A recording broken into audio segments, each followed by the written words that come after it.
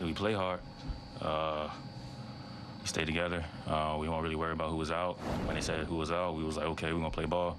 You know, we're pros too. We can play with them. So we just wanted to come out and play, play hard, and we got the win. For you, uh, Jacque was just in here talking about even while you weren't playing in the third, you still had no doubt that you were going to get your opportunity in the fourth. Um, I guess could you just talk about the feeling that you got into and the flow of the offense in the fourth, where I think you might have 21 in the fourth?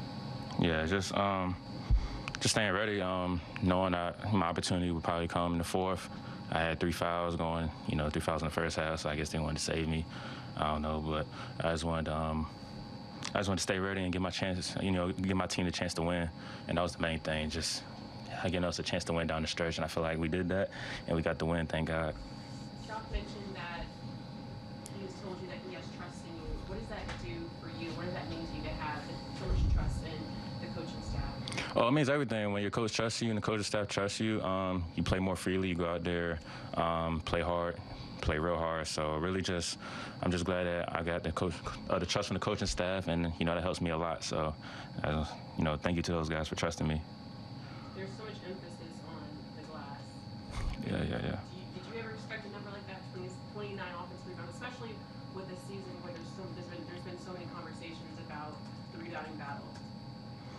Yeah, um, no, nah, not really, but you know, we're, we're, small, we're a small team, so you know, it happens. So, you know, gotta put a body on people and just, you know, just box them out. We can try the best we can. You know, we're a small team, but you know, we just gotta fight, have heart, and you know, eventually it'll turn around for us.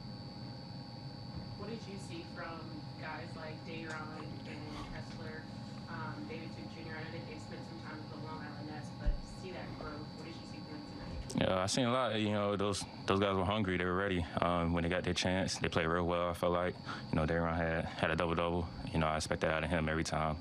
You know, Didi played great defense, uh, great finishes around the rim, and Kess, you know, almost a double double, I think, or he had one. I don't know, but you know, I'm just proud of those guys. You know, because we all came in together, so we all have a good feel for each other. So you know, I'm just happy for every single one of those guys. Could you just talk about the zone?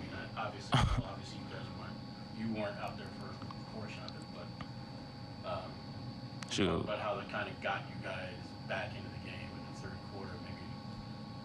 Shoot, we gotta try something. I mean, we small. I mean, we small. We gotta try something. We can't just keep, um, you know, switching one through five and getting rolled down by Myles. You know, it's a mismatch. So, shoot, we had to try something. So, thanks to coach. You know, just trying different stuff. You know, I think we did a full court press too one time in the first half. So, you know, that's that's what it's all about. You have your main guys out. You gotta try stuff. Just bring stuff out the bag.